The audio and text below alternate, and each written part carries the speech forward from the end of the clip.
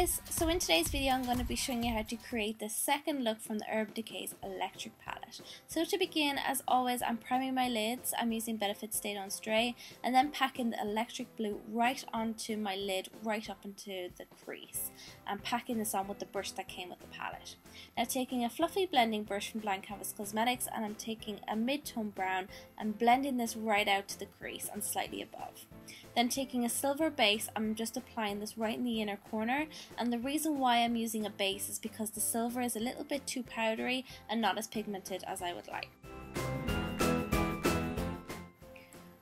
I went for a really thick winged liner and also lovely long fluffy lashes to create lots of drama and then moving on to the lower lash line I'm lining my waterline with a black pencil brush and also smudging it onto the lower lash line and then blending this out with a pencil brush and the electric blue eyeshadow. Then moving on to the face of course you gotta prep the face first by priming and then applying the best concealer in the world and I've told you this so many times it covers every discoloration possible. The stuff is amazing. For my foundation, I'm using the Benefits Play Sticks again, and I'm totally loving these at the moment. They are fantastic. Again, like I said, they're concealer and foundation in one, but they also contain green tea and chamomile, so they're really soothing on the skin and brilliant if you suffer from breakouts.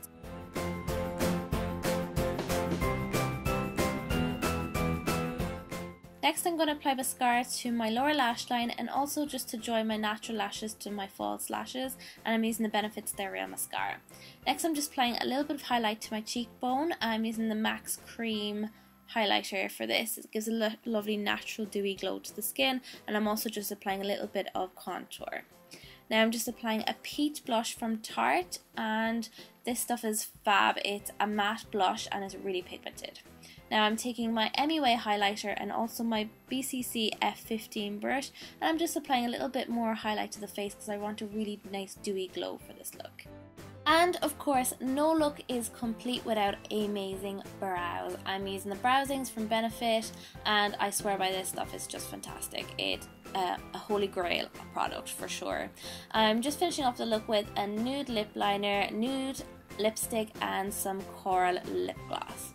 And that's pretty much it guys. I really hope you guys enjoyed this video. If you recreate this look, don't forget to hashtag makeup by Saz and also don't forget to send me in your request for next week's Fashion Friday. And that's pretty much it. Oh, don't forget to comment, like and subscribe and I will see you guys next week. Mwah!